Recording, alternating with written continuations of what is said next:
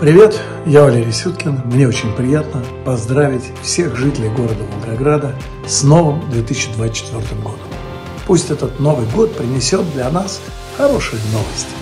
И пусть здоровье не отвлекает от процесса, который называется радоваться жизни.